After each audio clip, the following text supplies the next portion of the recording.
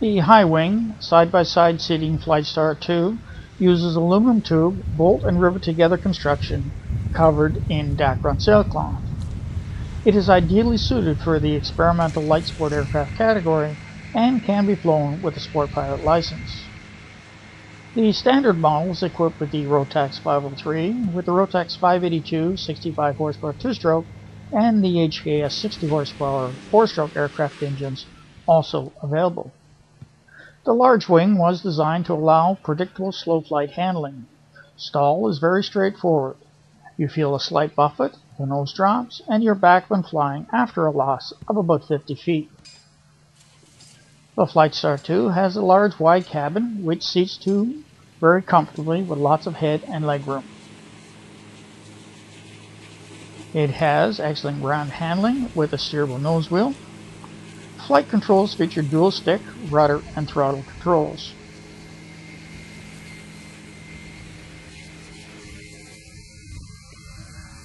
Stick and rudder pressures are very light and the craft is rudder dominated.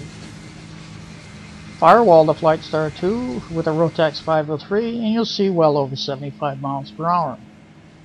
VNE is 100 miles per hour, rate of climb nearly 700 feet per minute, and cruise comes in at 5500 RPM on a 503 at 65 miles per hour. Approach for landing is 50 to 55 miles per hour, and side slips on this little aircraft are a dream. Touchdown and liftoff come in at between 40 and 45 miles per hour. It is not surprising that well over 1,000 of these birds are flying worldwide.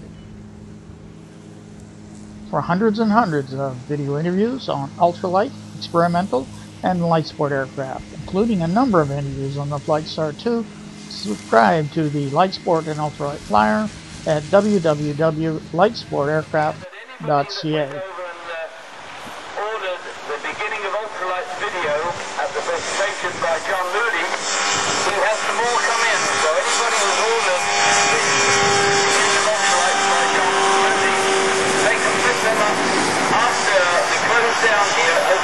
the headquarters.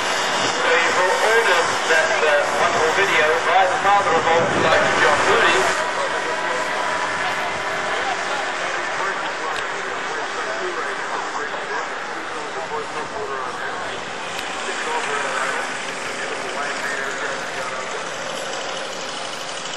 put a lot of planes in the battery today. And as you look, you see that big uh, bird up there